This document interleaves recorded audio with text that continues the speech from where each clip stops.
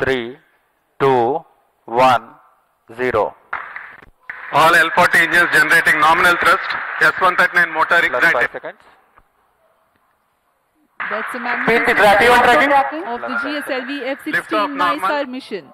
The deafening roar of GSLV and beautiful silhouette brightening the Sriharikota sky.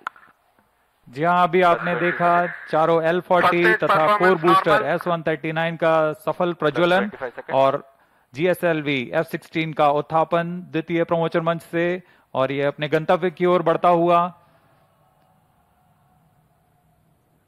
हम यहाँ कंपन महसूस कर पा रहे हैं मिशन नियंत्रण केंद्र पर The first stage of GSLV with, with S139 solid core motor and four L40 liquid strap-ons thrusting together.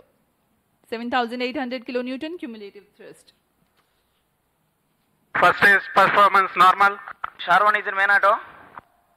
The day of launch Plus wind one biasing minute. program that is fed into the onboard computer